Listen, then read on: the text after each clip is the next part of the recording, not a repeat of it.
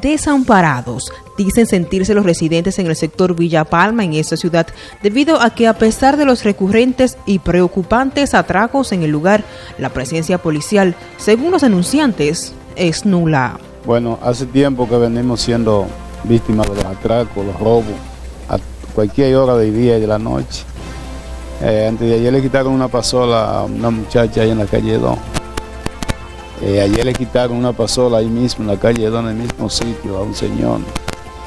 Eh, de aquí de la esquina de, nuestro centro comunal se robaron 70 sillas. se llevaron el lavamanos que quedaba en estos días. Estamos esperando que vengan a buscar el también.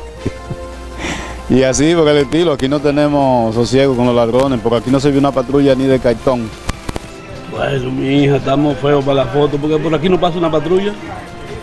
Por aquí no pasa una patrulla en dos días consecutivos.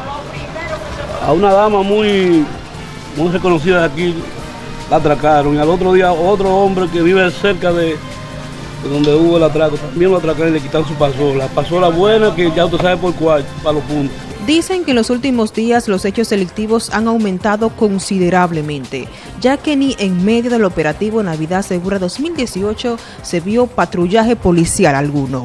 No, no, por aquí no, por aquí nada más pasan los policías que viven por estos sectores.